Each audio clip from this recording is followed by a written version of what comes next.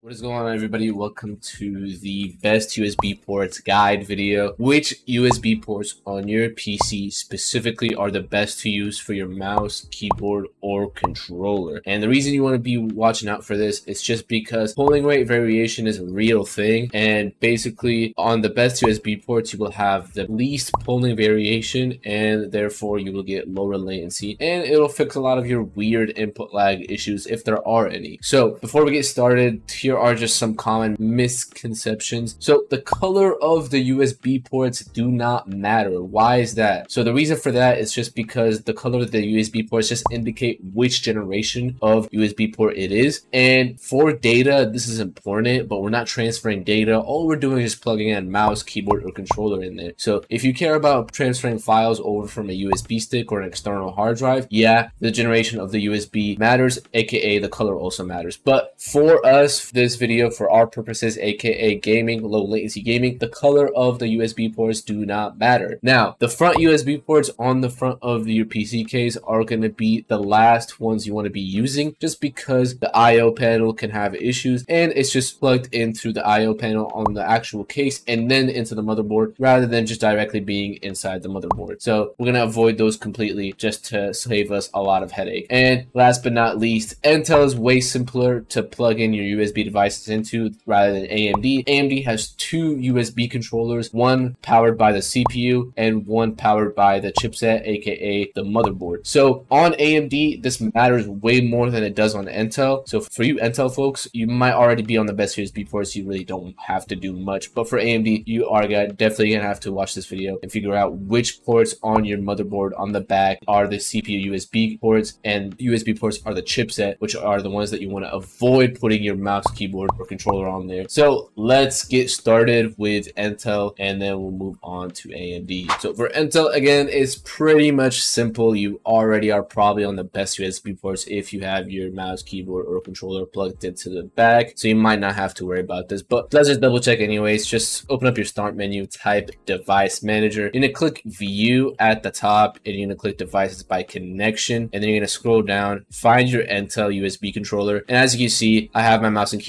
right here and that's basically how you want to have it set to. So you want to have your controller down here or your mouse and keyboard right here. These generic USB ports, you just don't want your mouse and keyboard under here. You want it directly under the USB root hub. So if you expand USB root hub and your mouse and keyboard are down here, then you're pretty much good to go. Same thing if your controller is down here. However, if it's under one of these generic USB hubs, maybe try flipping around, try a different USB port in the back just to make sure you get your mouse and keyboard or controller down here, basically plugged into the USB root hub rather than under a generic USB hub. The reason for that is just because you want it directly in the least resistance possible. The generic USB hubs are just going to create resistance and it's pretty much just better to have it just in case down here plugged into the root hub. So that's literally it. That's all you have to worry about for Intel. That's you don't have to do anything else. So that's for controller, mouse, and keyboard. Just make sure you have it like mine and then you can have your headset or mic wherever you want. It doesn't really matter. But yeah, mouse, keyboard have to be plugged directly into the USB root hub. So now let's move on to AMD real quickly. So for AMD guys, you need to download the hardware info tool in order to continue. And the reason for that is with the hardware info tool, we can figure out which USB controller and device manager is the CPU USB controller. Because in hardware info, it basically tells you the code name of your CPU and then the name of the USB controller, which means that's the CPU USB controller. And then it'll show you the chipset USB controller depending on what motherboard model you have. So make sure to download this tool. You can just download the installer or the portable. I'm just gonna do the portable right here. Go over over free download, just local if you're in the US, and then you can just double click on it, double click hardware info 64, and then just don't check anything, just press start. All right, so once you pretty much have hardware info loaded up, you're just gonna close out of the extra stuff that's open. You just wanna focus on the main window. So expand bus, expand PCI bus number zero, and then we're gonna expand some of the PCI bridges to make sure that our USB controllers pop up. So as you can see, I expanded this one PCI bridge, and now the AMD 400 series chipset USB controller pops up. And now I'm gonna expand the chipset USB controller and basically as you can see I have the devices like my Wi-Fi adapter and some just stuff that I don't really care about in there. And then if I go down for example you'll see the CPU USB controller which as you can see it's AMD Matisse slash firmware and what that means is basically that's the code name for the CPU so for you it's going to be different or the same. It just doesn't really matter. You just want to make sure that you're using that one whatever code name your CPU is. But but the AMD chipset, whichever number the chipset is, you want to avoid that one. You want to avoid plugging in the mouse, keyboard, or controller on there. You can plug your headset and your webcam and your other stuff in there, but your mouse, keyboard, and controller have to be in the CPU USB controller, aka the AMD, the code name of your CPU, and then USB XHCI controller. Now, once you do that, you also want to make sure it's connected directly to the USB root hub and not a generic USB hub. So it's pretty simple to do that. You just flip them around